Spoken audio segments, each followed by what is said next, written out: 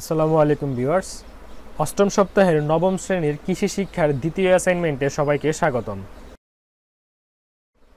এই ভিডিওটিতে আমরা নবম শ্রেণির কৃষি শিক্ষা অ্যাসাইনমেন্টে নির্ধারিত কাজ এবং এর উত্তর সম্পর্কে আলোচনা করেছি। তোমরা এখানে দ্বিতীয় কলামে দেখতে পাচ্ছ, তোমাদের এই নির্ধারিত কাজটি দেওয়া হয়েছে প্রথম অধ্যায়, অর্থাৎ কৃষি প্রযুক্তি থেকে। লাল বক্সের মধ্যে দেখতে পাচ্ছ অ্যাসাইনমেন্ট বা নির্ধারিত কাজ। নির্ধারিত কাজটি হচ্ছে একজন ধান চাষি চটের বস্তায় ধানের বীজ সংরক্ষণ করে বীজতলায় বপন করলে খুব কম সংখ্যক বীজ অঙ্কুরিত হয়। অন্যদিকে একজন দুগ্ধ খামার মালিক বছরব্যাপী তার গাভীগুলোকে কাঁচা ঘাস সরবরাহ করেন। কিন্তু হঠাৎ বন্যার কারণে তার গাভীগুলো মারাত্মক খাদ্য সংকটে পড়ে। উপরিউক্ত ধান চাষি ও দুগ্ধ খামারি কি কি ব্যবস্থা গ্রহণ করে বীজ ও ঘাস সংরক্ষণ করলে এই সংকটে পড়তেন না? এ ব্যাপারে তোমার মতামত সহ একটি প্রতিবেদন তৈরি করো। অর্থাৎ ধান চাষি কীভাবে বীজ সংরক্ষণ করবেন এবং দুগ্ধ খামারি কীভাবে ঘাস সংরক্ষণ করবেন, সেই সম্পর্কিত একটি প্রতিবেদন তোমাকে তৈরি করতে বলা হয়েছে। তাহলে চলো এবার আমরা প্রতিবেদনটি দেখে নিই। প্রথমেই উত্তরের শুরুতে তোমাদের লিখতে হবে প্রতিবেদনের তারিখ। এইখানে তারিখের ভিন্নতা হতে পারে, তোমরা যে কোনো তারিখ ব্যবহার করতে পারো। এরপর আসবে প্রতিবেদনের শিরোনাম। প্রতিবেদনের শিরোনামটি আমরা দিয়েছি, সঠিক উপায়ে ধান চাষের এবং কাঁচা গাছ সংরক্ষণ করার পদ্ধতি সম্পর্কিত প্রতিবেদন।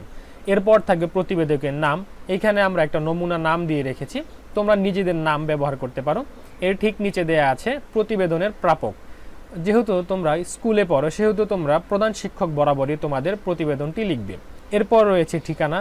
তোমরা যার যার স্কুলের নাম সেই ঠিকানা অংশে লিখতে পারো। এরপর আমাদের মূল প্রতিবেদন শুরু। প্রথমে প্রতিবেদনের একটি শিরোনাম দিতে হবে। শিরোনামটি হবে, সঠিক উপায়ে ধানের বীজ ও কাঁচা ঘাস সংরক্ষণ করার পদ্ধতি সম্পর্কিত প্রতিবেদন। এরপর বলা আছে, ধান চাষি যেভাবে বীজ সংরক্ষণ করলে অধিক বীজ অঙ্কুরিত হবে তা নিচে উপস্থাপন করা হলো।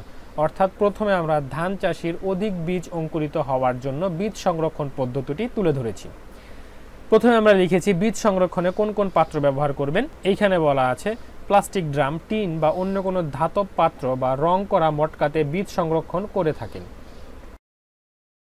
পাত্রের মুখটি অবশ্যই সঠিকভাবে লাগাতে হবে যেন বাতাস চলাচল করতে না পারে। এসব পাত্র ইঁদুর বা পোকায় কাটতে না পারে, এই দীর্ঘদিন ব্যবহার করা যায়। অর্থাৎ প্রথমে কোন পাত্রে বীজ সংরক্ষণ করতে হবে সেই সম্পর্কিত আলোচনাটা আমরা দিয়েছি। এরপরেই দেখতে পাচ্ছ বীজ সংরক্ষণের জন্য অবশ্যকীয় করণীয়। অর্থাৎ বীজ কীভাবে সংরক্ষণ করতে হবে সেই সম্পর্কিত আলোচনা আমরা পয়েন্ট আকারে তুলে রেখেছি। এখানে তোমরা দেখতে পাচ্ছ প্রথম পয়েন্ট, এরপর দ্বিতীয় পয়েন্ট, তৃতীয় পয়েন্ট, চতুর্থ পয়েন্ট, পঞ্চম পয়েন্ট, ষষ্ঠ পয়েন্ট, সপ্তম পয়েন্ট এবং অষ্টম পয়েন্ট। পূর্বের স্লাইডে আমরা দেখেছি কীভাবে বীজ সংরক্ষণ করতে হবে। এই স্লাইডে তোমরা দেখতে পাচ্ছ কীভাবে ঘাস সংরক্ষণ করতে হবে। দুগ্ধ খামারি যেভাবে কাঁচা ঘাস সংরক্ষণ করলে খাদ্য সংকটে পড়বে না তার নিচে উপস্থাপন করা হলো। এরপর রয়েছে ঘাস সংরক্ষণ করার পদ্ধতি। এই ঘাস সংরক্ষণের পদ্ধতিগুলোকে আমরা বুলেট পয়েন্ট দিয়ে তুলে রেখেছি। প্রথমে দেখতে পাচ্ছ প্রথম পয়েন্ট প্রথমে শুষ্ক এবং উঁচু জায়গা যেখানে পানি জমে না, এরকম স্থানে একটি গর্ত তৈরি করতে হবে। এরপর রয়েছে দ্বিতীয় পয়েন্ট তৃতীয় পয়েন্টে বলা আছে, একশো সিএফটি একটি মাটির গর্তে দুই দশমিক পাঁচ শূন্য থেকে তিন দশমিক শূন্য শূন্য টন সবুজ ঘাস সংরক্ষণ করা যায়। এরপর দেখতে পাচ্ছ চতুর্থ পয়েন্ট, পঞ্চম পয়েন্ট।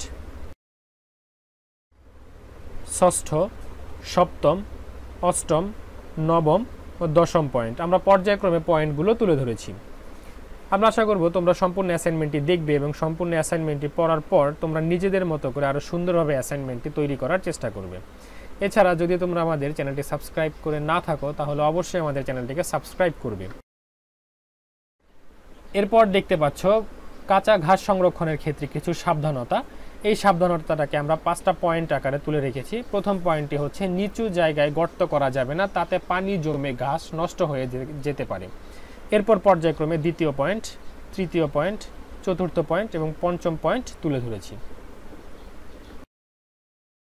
এই ছিল তোমাদের অষ্টম সপ্তাহের কৃষি শিক্ষা অ্যাসাইনমেন্ট। আশা করি সম্পূর্ণ অ্যাসাইনমেন্টে তোমরা বুঝতে পেরেছ। ধন্যবাদ।